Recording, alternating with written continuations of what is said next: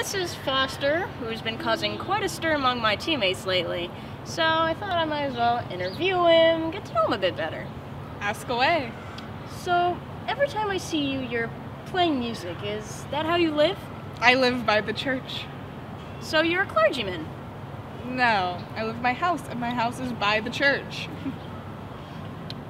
okay, I see how this is. You're joking. We're joking.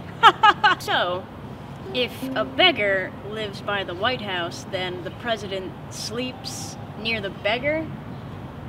And if you play your ukulele near the church, the church earns money from that? Exactly.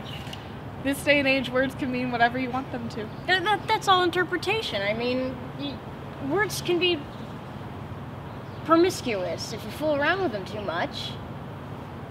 Well, then I wish my sister did not have a name. Why is that? Well, you just said so yourself. Words are promiscuous, and her name is a word, and I wouldn't want her to be called promiscuous. Words have become rascals since people started writing them down instead of speaking them. What do you mean about what? I'd have to use words to explain it, and as we've already said, words are false. Oh man, you oh, are funny. You know, people say you don't care about anything. No, I care about some things. I know someone who cares about you. Really?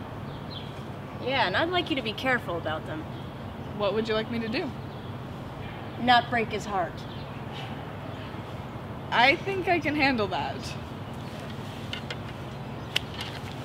Hey, the next time God sends out his hair, I hope he gives you some stubble. oh, trust me, I'm dying for it.